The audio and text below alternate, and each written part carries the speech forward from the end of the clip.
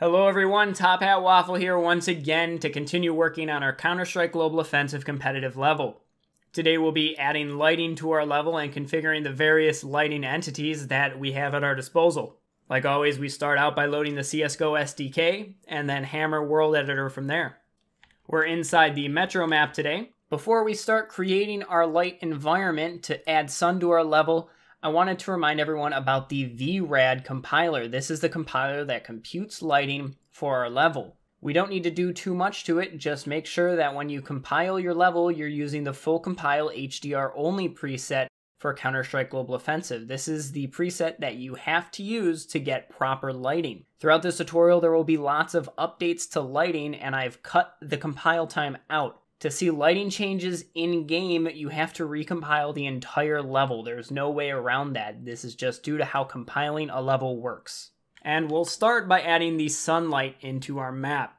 The sunlight is cast from our light environment entity, which is the little happy sun guy here. We previously added this in, but just used mostly default settings, just so we could see what we're doing in our level. You're only allowed to have one light environment in your map. Having more may cause issues down the line, so just make sure you only have one in your map. If we open the object properties on here, we see that I just have a direction set and a pitch. Everything else is the default. I want to choose the angle that my sun is going to be cast at first.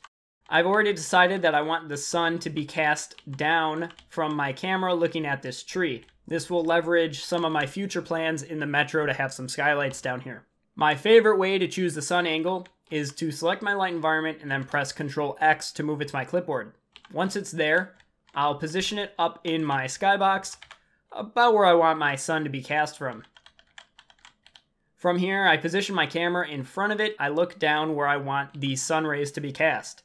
I open the object properties for the light environment by pressing Alt Enter, and under Pitch Yaw Roll, I'll click Point At.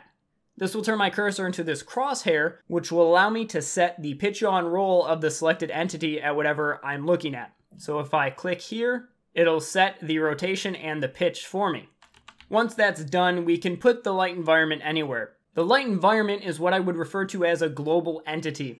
This means it affects the entire level on a global scale, and they typically don't have any relevance of positioning in your map, meaning they can be put wherever you want.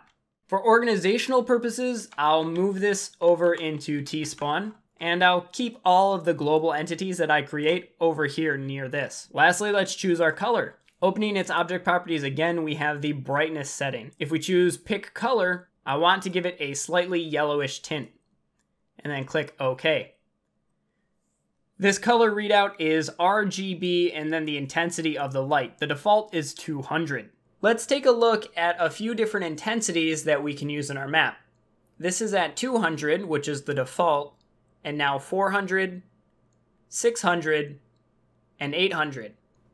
The intensity value is essentially the amount of light that the entity will emit.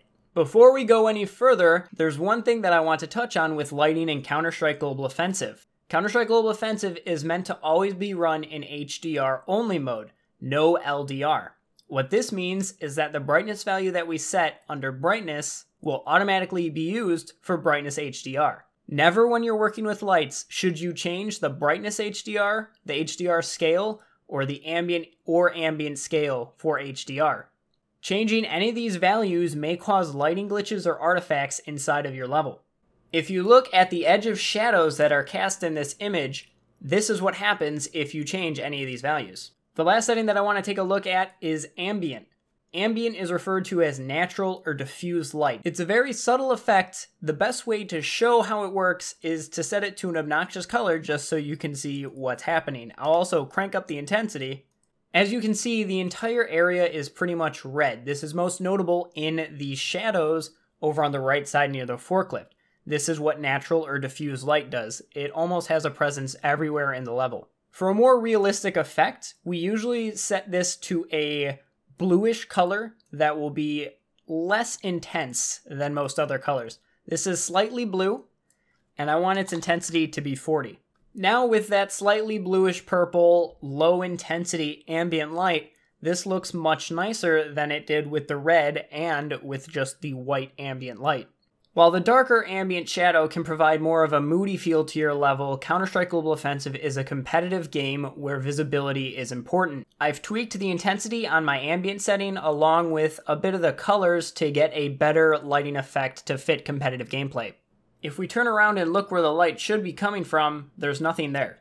The light environment is only the entity that physically casts the light into the map. We still have to add the entity that puts the sprite in the sky.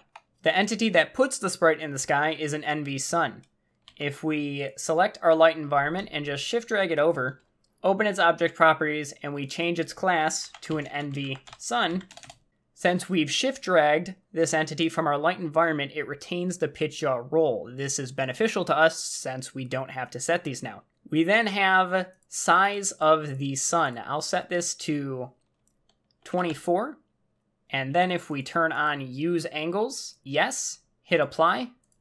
If we look up at where the sun should be now, it's there. And as we look directly at it, frying our brains, it gets bigger and smaller.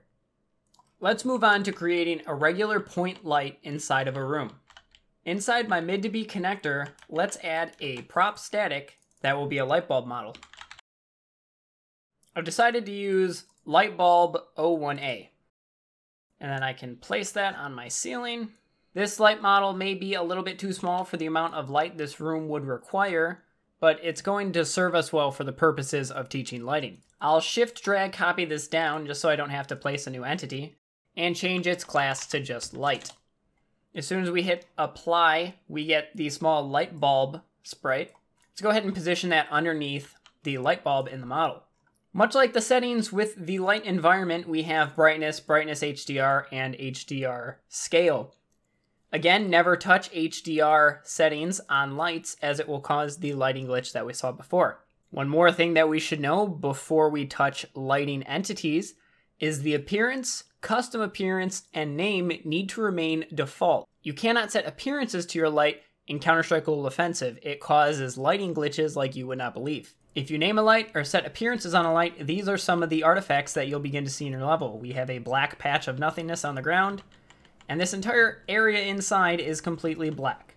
Let's go on to setting up a few basic parameters on our light. First, let's pick the color. Just like the outside, most lights will have a slight yellow tint to them. No light in your level is ever purely white. Now that that has a slight yellow tint to it, I'll turn the brightness up to about 250. That's most of the basic options that you'll set for a light. We'll visit some of these later in part 2 when we do more advanced lighting. One thing to keep in mind when creating lights for your level is the placement of the light entity from the light model or ceiling. This light is rather close to the ceiling, and it has a pretty strong glow that HDR actually isn't helping too much. Let's pull this light entity a little bit more away from the ceiling so we can see what effect that has inside of the game. With the light entity moved further away from the light model and the ceiling, the glow effect is much less harsh. It also looks much better in my opinion. Now let's take a look at the light spot entity. This entity is meant to mimic a spotlight. I'll place a new entity and change it into a prop static. From there, I'll choose floodlight, and this is the model I want to use. We'll notice that inside it's off. If we look under skins, some lights have multiple skins. This one has an on setting on skin 1. So we'll just select skin 1 and click apply. I'll quickly position the floodlight, and once it's in place, I'll make a shift drag copy of it and change its class to light spot. The light spot will have a small spotlight model, and when it's selected, it will have a cone to show you its inner and outer fading angles.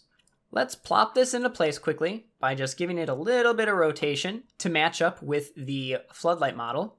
You'll also want to take care to make sure that the light is not inside of the prop. If the light is inside of the prop, the prop will absorb all the light and it will look very bad. If that ever happens, you just kind of pull the light forward until it's outside of the prop. Let's give it some color using the brightness setting. Once again, I'll go with the ever so inspired orange tint. And since this is a floodlight, its brightness is going to be a little bit brighter, so I'll set it to 550. The light spot has three settings that differ from the regular point light. While the regular point light does cast in omnidirections, this is a focused light, and we can choose inner, outer, and the focus on the target. With the default inner, outer, and focus settings, this is what our light spot looks like in game. Let's increase the focus from 1 to 20 so we can see how that affects the light. This is the default light spot for comparison. This is how the light looks with 20 focus in game. We can see that the edges of the light are much harsher with this setting turned up. Now let's set the focus back down to 1 and increase the outer fading angle. As we turn the outer fading angle up, the outer cone will in fact get wider.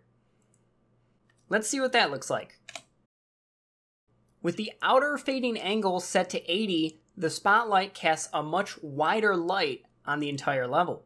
But behind us, not much light is being cast at all. Let's set that back to 45 and set the inner bright angle to a very tight number, around 10.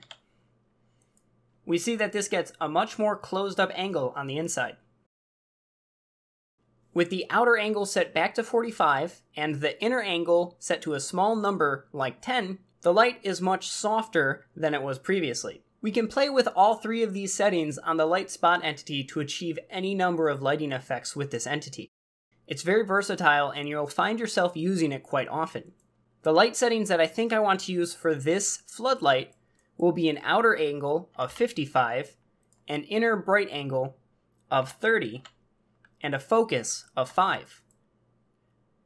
After I set those settings, I'll shift drag it over since this model has room for two light emitters.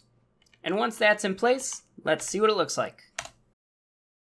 For only spending about 20 seconds configuring those lights, I think this is a pretty good turnout for a floodlight. Lighting, much like the layout in your level, will be a lot of adjusting.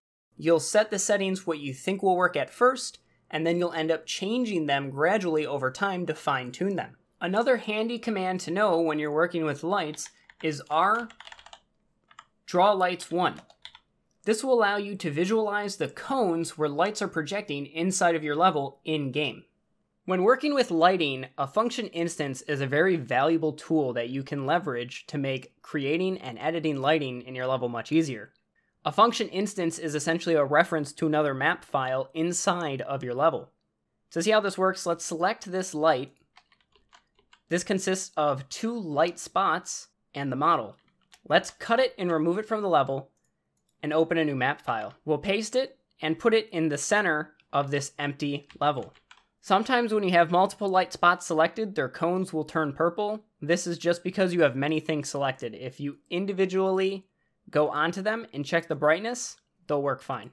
Let's save this VMF file, and we want to save it in a folder called instances, which is in the same location as our map file. We'll save this as a new VMF, and then close out of it. We can place a new entity and make it a function instance. We'll choose VMF file name and choose floodlight. If you select the file and it doesn't load the instance, you can manually type in the file path instead, which is a relative path from the VMF location. After you do that, it should flash by and load the instance. We now have this object with a slight shade over it when it's selected. You can choose the instancing view up here under the instance menu.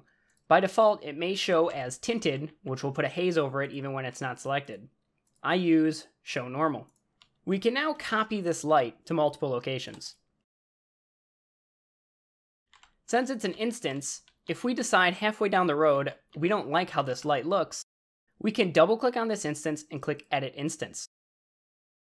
Let's say, just for some odd reason, I want a third light spot sitting on top of this light.